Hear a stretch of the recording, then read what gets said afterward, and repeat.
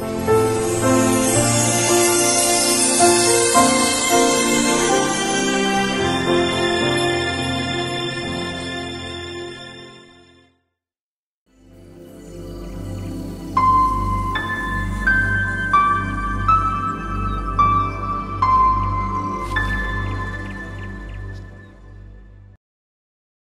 It's awesome to acknowledge our, our, mothers, and we're going to continue to do that this morning. And um, before I invite Janice and Tanya and Elizabeth up to the stage, um, there's just a short uh, video clip. And um, I was thinking about um, some scripture which reflects, uh, well, speaks about um, the character of, um, of a wife, which I think is really appropriate for, for our service today. And it's found in Proverbs 31. It's the very last uh, part of scripture in, in Proverbs. And when I read through that, I always think of um, the different parts that mums have played, played in, um, in my life and, and maybe in your life as well. And um, I'm just going to share this little video clip, but I just want you to, to follow the, the video clip through and think of those characteristics that, um, that you've experienced from, from someone special in your life, um, from your mum. And then what we'll be doing is we'll be inviting some of our mums up to the stage here and doing a bit of an interview and, um, and a time of sharing to see how the Lord has actually been working in, um, in their lives as well. So uh, I'll over to you, Apollonia. I'll let you um, get the clip going. Thank you.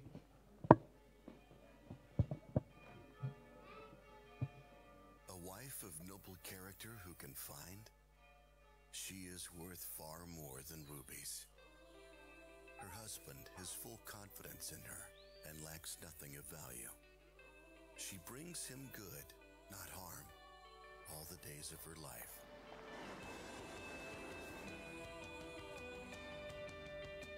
She selects wool and flax and works with eager hands. She is like the merchant ships, bringing her food from afar. She gets up while it is still night. She provides food for her family and portions for her female servants. She considers a field and buys it. Of her earnings, she plants a vineyard. She sets about her work vigorously. Her arms are strong for her tasks. She sees that her trading is profitable, and her lamp does not go out at night. In her hand, she holds the distaff and grasps the spindle with her fingers. She opens her arms to the poor and extends her hands to the needy. When it snows, she has no fear for her household, for all of them are clothed in scarlet. She makes coverings for her bed. She is clothed in fine linen and purple. Her husband is respected at the city gate where he takes his seat among the elders of the land. She makes linen garments and sells them, and supplies the merchants with sashes. She is clothed with strength and dignity. She can laugh at the days to come. She speaks with wisdom, and faithful instruction is on her tongue. She watches over the affairs of her household and does not eat the bread of idleness. Her children arise and call her blessed. Her husband also, he praises her. Many women do noble things, but you surpass them all. Charm is deceptive, and beauty is fleeting But a woman who fears the Lord is to be praised. Honor her for all that her hands have done, and let her works bring her praise at the city gate.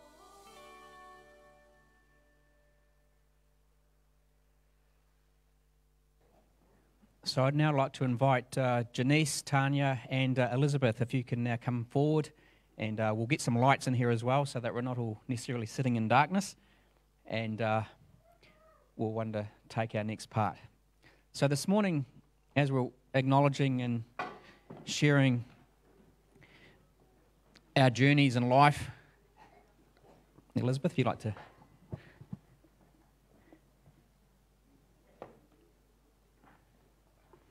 Very special day for, for Elizabeth, who will be uh, being baptised uh, soon. But before we, we, get to that part, um, I actually just want to reflect and, and share uh, how the Lord's been working in my life, and especially for the love that I've experienced with, with my mum. Uh, she's sort of been through a lot, as, um, as a lot of mums are and, and do. And, uh, and I particularly want to think about um, when I lost my dad, so her life partner. And um, when I think of my mum at that time, I think of some of the things that were shared on that video where she um, was so, you know, self-sacrificing. She she worked two jobs, so and I think maybe that might have been just to keep herself busy while, you know, because we'd lost dad. And, and um, so she would wake in the morning, she would get everything organised for around the home. Um, I, would moved out of home at this stage, and so I, when my dad passed away, I moved back home just to spend some time and, and care for mum. But uh, she would wake early and she would head up to her, her day job, and that was at, um, in town at the, at the press, uh, one of the, their publications. She'd work a full day there and then she'd drive back into Sockburn and she'd start another job where I worked um, at Mainfreight and she'd work through till midnight. And she did this for probably seven years, I think it might have been, seven years, um, working two jobs.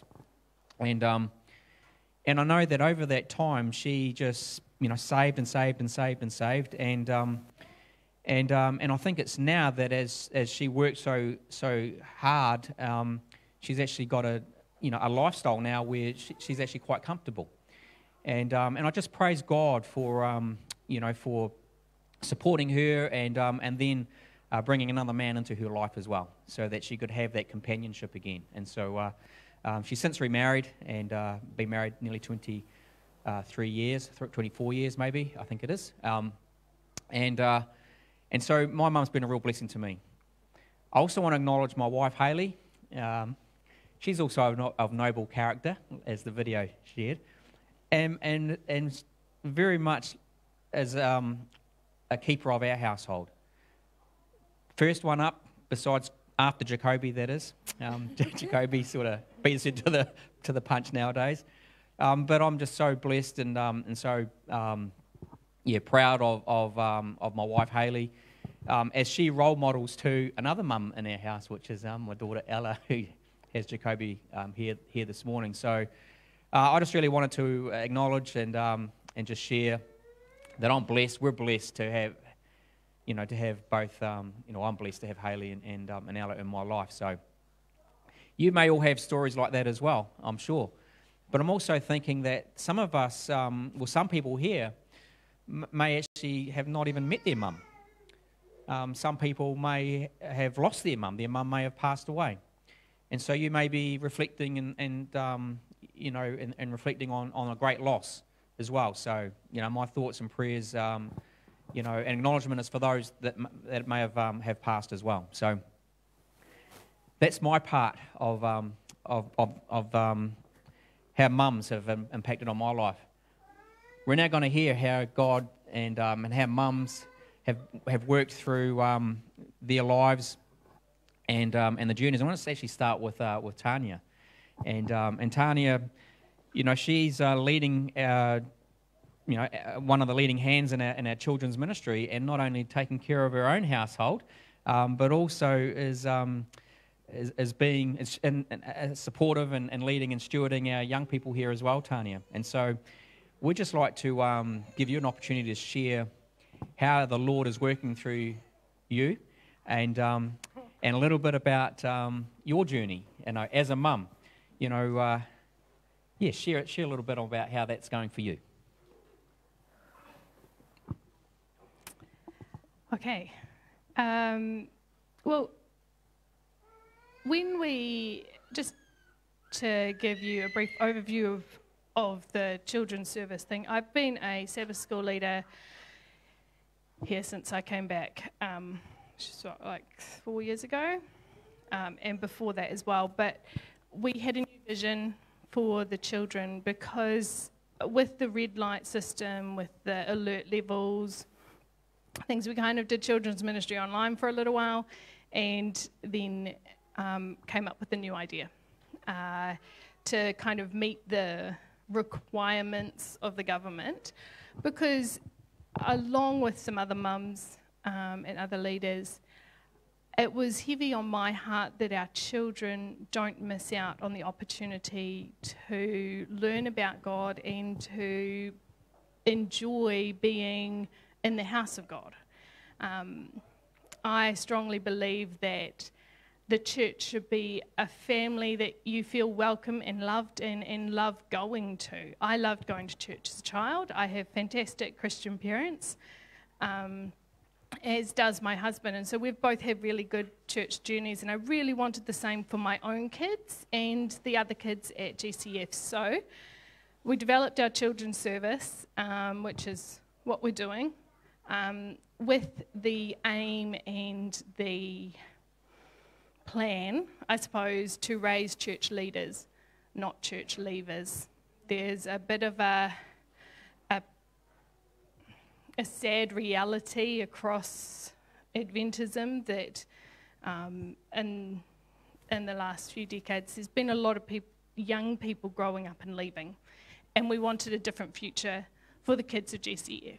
Um, so, yeah, they're, they're doing things like um, stepping out and speaking, leading singing, leading games, making crafts, having a great time, and all the time learning about and learning how to connect with their Father God.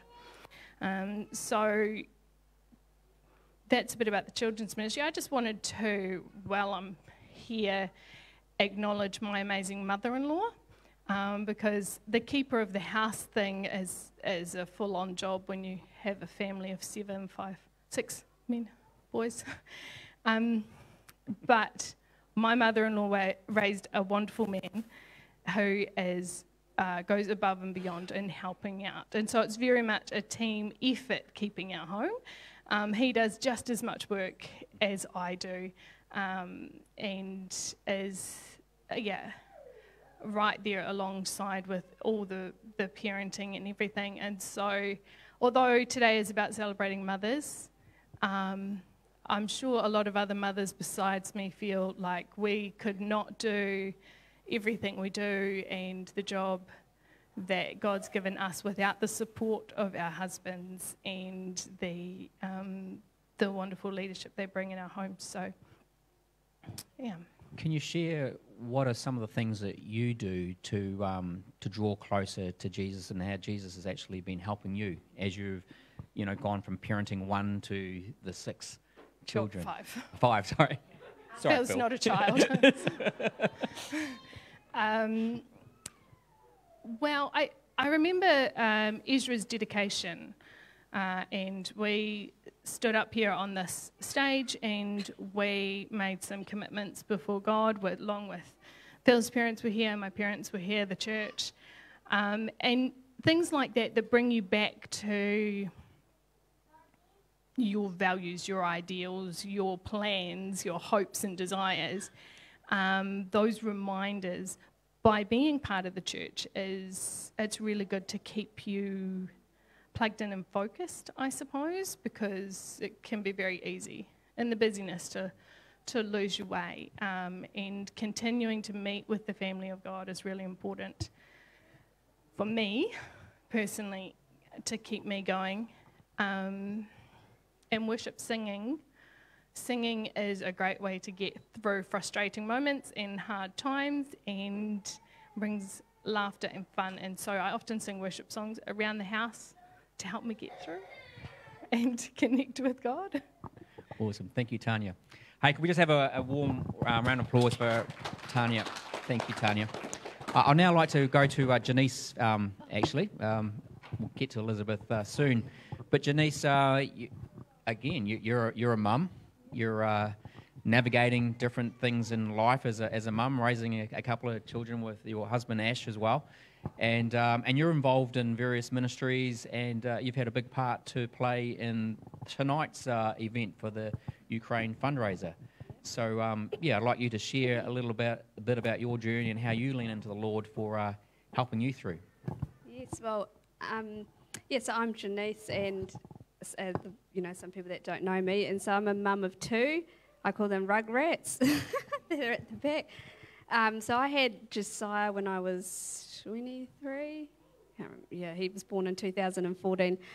Yeah, and it's funny because being a mum is obviously the realities is, is, it is really hard work. I was a preschool teacher, and um, my mum had lots of, um, I guess, foster children that she looked after, and so I always thought if I had my own children that I'd be awesome and it was going to go amazing. And at preschool, I always seemed to work with the children that were really difficult, and a lot of the teachers were, "Oh wow, that's amazing! How did how you got them to turn around their behaviour?" And um, I remember one of the teachers going, "Oh, you do know it's it's different when you have your own children." And I was like, "Oh yeah, well mine aren't going to have TV, then they're going to be really healthy and blah blah blah." and I've got I've got to have this discipline, and they're going to you know I'm going to follow it through.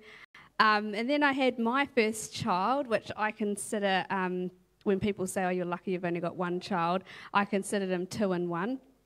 And so he was, yeah, it was really challenging, to be honest, being a mum. I remember being in the hospital, and even though I've worked with children right down to newborns, um, I remember being quite freaked out because I didn't feel that bond that you see in movies when you have your child and you hug them and things. I just had sort of like the birth wasn't as smooth. And so I was like, oh, it's, it's a bit abnormal. I don't feel this love. But it's just because you're a young mum and it's overwhelming. And I remember waking up after giving birth thinking, oh no, like I can't be free now. I just got to look at th- this person, this little thing relies on me. So I can't, like, you know, I can't just, if I don't want to eat or just want to go hang out with mates, I can't now. Um, when I meant don't eat, meaning like um, yeah, you just sometimes don't want to have your meal, you have it at a different time. But anyway, it's been challenging, I have to say, being a mum. Um, I've found it different, and um, my children do, you know, they're awesome and amazing and full of energy and personality, but they're also, you know, stubborn and hard work. And so I feel what Carl said, I have had to draw really close to God um, for strength in my parenting as a mother and just trying to be the best mum I can, I have, I've had to rely on God. I mean, my child Josiah, he's amazing. He's real thoughtful and clever, and I'm, i always tell him he's a gift from God. Um, but sometimes at school and things, it can be challenging, and he's a bit like me. We just tend to attract the wrong influences. So I've had to draw close to God um, to give me strength as a mum. Um, and I think relying on God to pray over your children and ask the Holy Spirit to be with them and to bless their lives and to grow them up. You know, help me as a mum and Ash as a dad to grow them up has been my biggest um, reason at the moment I've been turning to God. Um, yeah, and I just think, just briefly back to my childhood, is um, I was, I just told Ash this actually the other day. I wasn't even thinking of Mother's Day. I was actually thinking about my mum. And I was telling Ash that I'm actually really, really grateful for my mum because my mum, who's not here, but she um, had a really obviously, well, you, yeah, you don't know, but she had a really horrific, traumatic childhood. Just, I can't even, it just blows my mind, her childhood. And um, I always think because of her childhood, she's had lots of challenges as a mother, mentally and emotionally. And I always think, I said to Ash, oh, I'm actually so amazed that through all those challenges, um, my mum always focused on giving us as best a childhood as we could. You know, I don't, you know, I obviously was a normal child that had my own issues and anger issues and stuff, but she always made us feel loved. She cooked for us. She was just like a really, really um, home, you know, always there for us after school. And through all her trials and tribulations, she was just an amazing mum that put all her kids first. So I give honour to her. She was a faithful follower of God, as you know, she loves God, and she, um, you know, she instilled that in us. She was a leader in the church, and then we're leaders in the church. And I just give massive big ups to her in her journey and trying to keep it together as a mum through her traumatic childhood, trying to mother, uh, trying to be the best mum to us. And I thought, if mum can do it, I can do it. And um, and I always do ring mum anyway if I need help with anything. And I just praise God for my mother that's helped me be um, the best mum that I can. Um, because if she can do what she did, you know, I can just be a really awesome parent to my children. I guess that's the journey I can say. Oh, and yeah, and I think I had tributes, but um, oh, also part of why I was up here with um, tonight's event um, with the Ukraine fundraiser that we have. I just also want to acknowledge all those um, mums around the world, refugee mums, um, especially the mums um, that are going through the war at the moment. I'd just like to acknowledge them and just, um, if we really think about those mothers going through these trials and tribulations, trying to protect their children, keep them safe, um, I just really have thought about them this week, thinking tonight our fundraiser is going towards, and our profits are going towards um, Ukraine and going towards helping families and mums out there and fathers out there provide for their children during this really hard time. So just make sure in our hearts and our prayers that we just look at, you know, think about those mums. Um, I'm doing it, um, we're fundraising for Ukraine at the moment, but I just also think about all the mums out there that don't have the luxuries we have. And, uh, and I always say to my kids, there's parents out there and families that are in little tin houses that have just got rice for dinner and um, they're trying to do the best they can on the little they have and I just acknowledge them.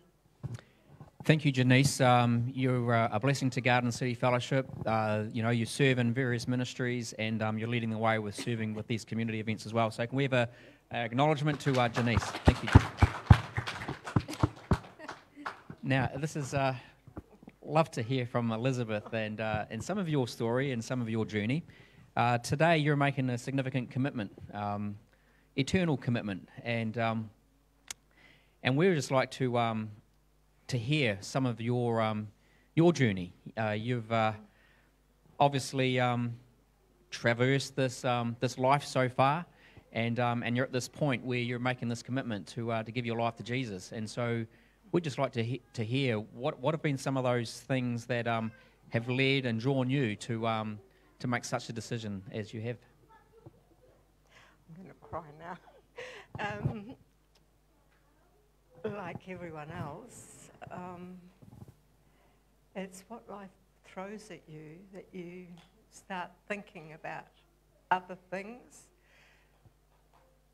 I can resonate with the um, war in Ukraine because we came out as refugees, and I was four years old when we came. And I remember my parents working. My dad worked, my mum, of course, stayed at home doing the garden, um, my we didn't. My mother didn't buy any clothes or anything. She made everything. She'd make a garment each for each member of the family, and there were five of us all together. I mean, five, yeah, five children and the parents, and she would knit something for each one of us. Then she would also tend the garden and they grew vegetables and all sorts of things. And Dad worked, he worked the night shift. Um, so their focus was on providing food for the family because war torn Europe was not a good place to be in.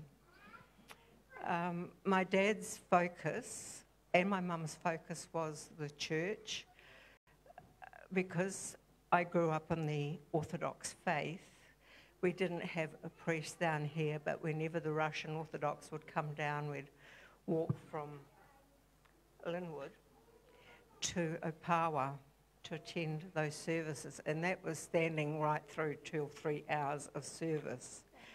And children being children, we didn't particularly like standing still and being quiet.